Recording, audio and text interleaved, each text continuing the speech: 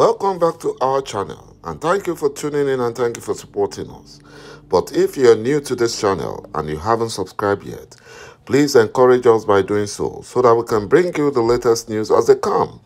And together we can support our leader, Mazi Nnamdi Kanu, IPOB and Eastern Security Network to make our Biafran dream and restoration a reality. He say Buhari impostor. And the Fulani Nigerian government are not happy with P2B after he exposed their fuel subsidy scam and fraud.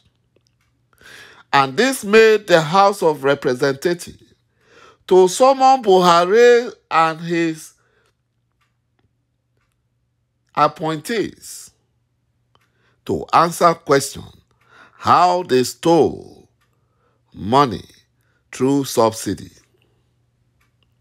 Malami and the Fulani Caliphate are planning to arrest P2B with trump-up charges.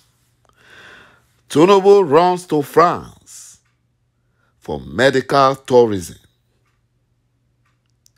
This is the reason why Nigeria has to disintegrate because it has nothing to offer to Biafrans. It has nothing.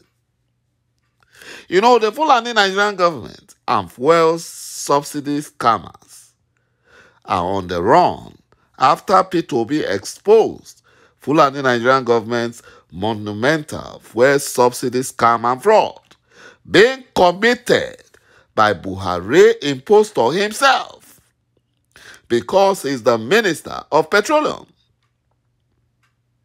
Instead of NNPC to remit revenues into federation accounts, that is Nigerian Federation accounts, they are remitting revenue into Buhari impostors accounts. Just as Lagos state government is remitting 1 billion naira every month into Tinubu's account. That's what they remit. You know, Buhari impostor thinks he's smart. So he's laundering all the stolen money through his frequent travel escapade. You know, the criminal Fulani terrorist jihadis that Tinubu and co-travelers installed as Nigerian president in 2015, Buhari, has stolen Nigerian dry and impoverished Nigerians through his fuel subsidy scam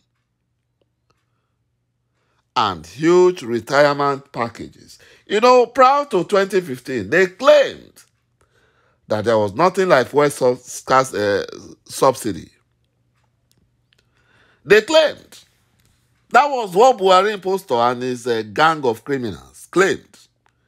That there was no fuel subsidy.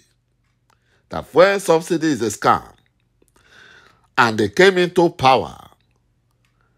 And they continued with this fuel subsidy. And quadruple the amount the government before them, that is Goodluck Jonathan's government, the amount they pay for subsidy, they quadruple it.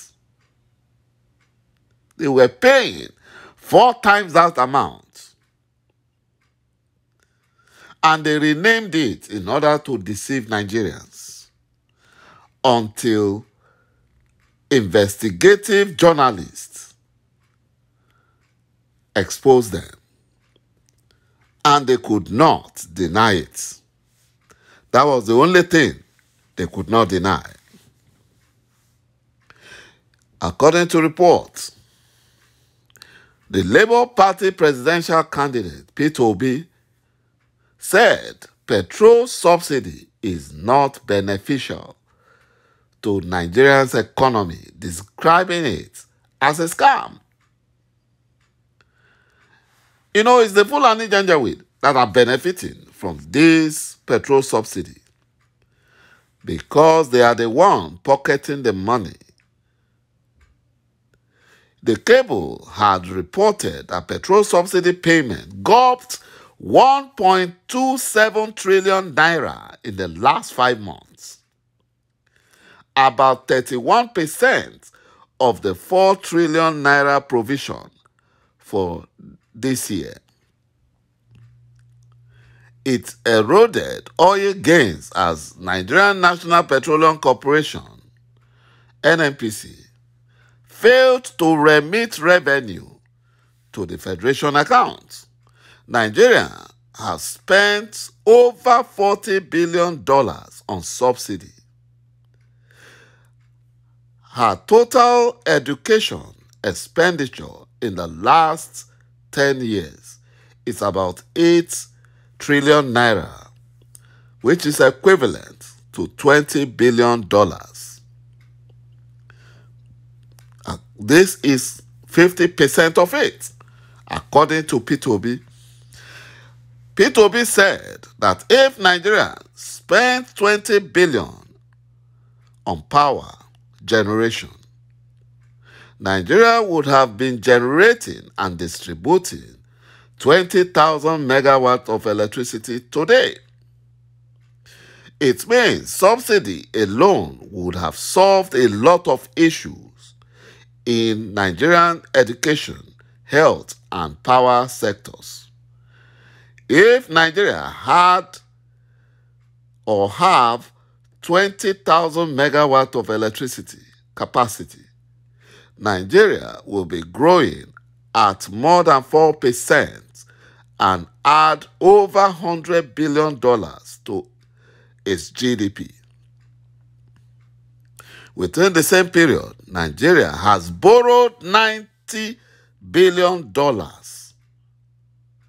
which Nigeria is servicing. With this, you could say that total mismanagement of resources that could have changed the entire northern Nigeria, that vast land would have been a huge farmland, contributing their quota to the federation account instead of being a parasite.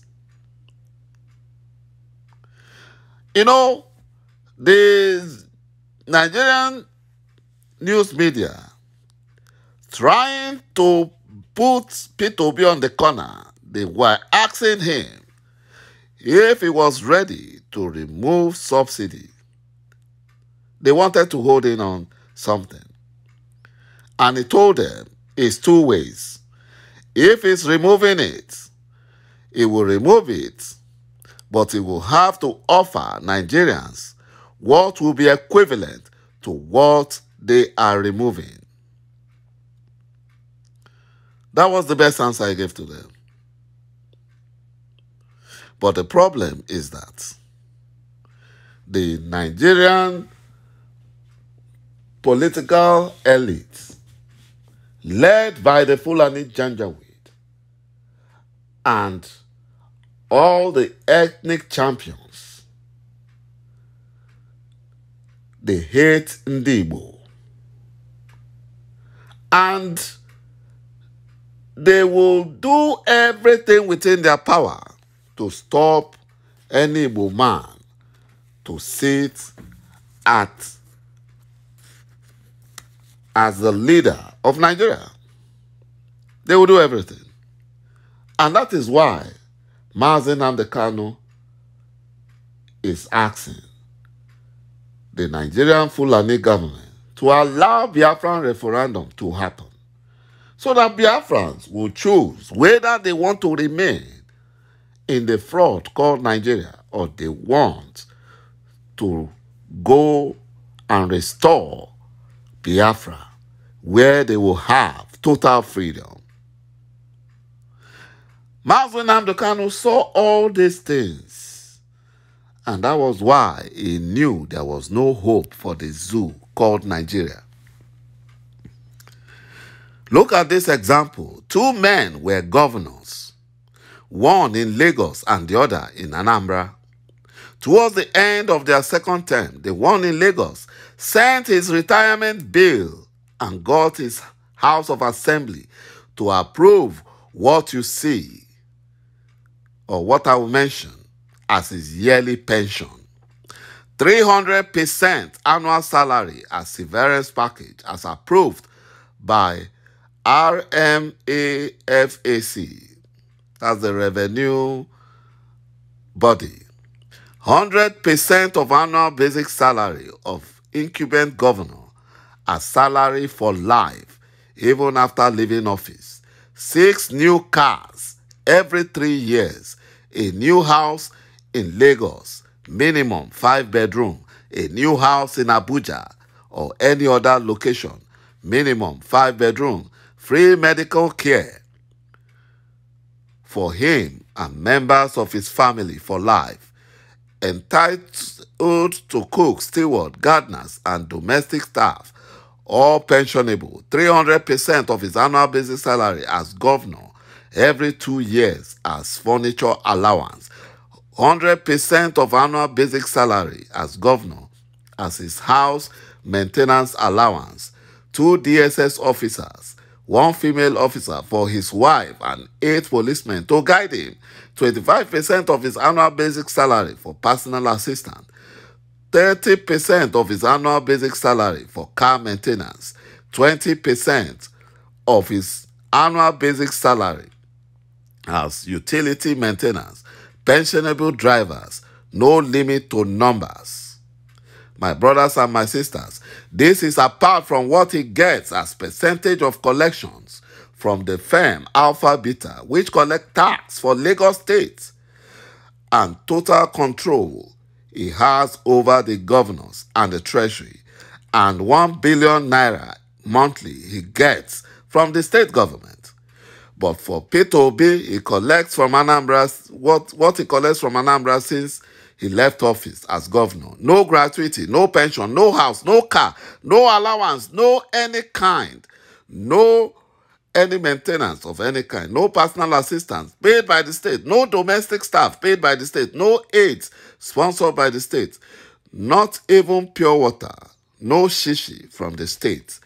My brothers and my sisters, this is what the zoo has become. And that is why Biafrans must be free. Thank you, my brothers and my sisters, for watching this video. And bye-bye for now.